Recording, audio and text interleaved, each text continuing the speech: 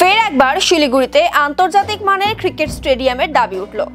কলকাতার ইডেন গার্ডেনে IPL match চলাকালীন ক্রিকেট স্টেডিয়ামের দাবি তুলেছেন শিলিগুড়ির ক্রীড়াপ্রেমী মানুষ। শিলিগুড়িতে আন্তর্জাতিক মানের ক্রিকেট স্টেডিয়ামের দাবি দীর্ঘদিনের। শিলিগুড়ি থেকে ঋদ্ধিমান সাহা, রিচা ঘোষের মতো প্রতিভাবান খেলোয়াড়রা উঠে এসেছে।